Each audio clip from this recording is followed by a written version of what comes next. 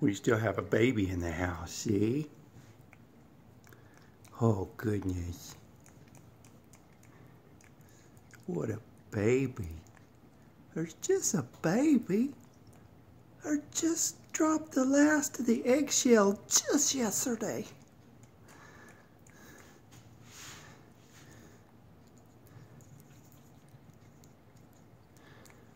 Mmm, gravy.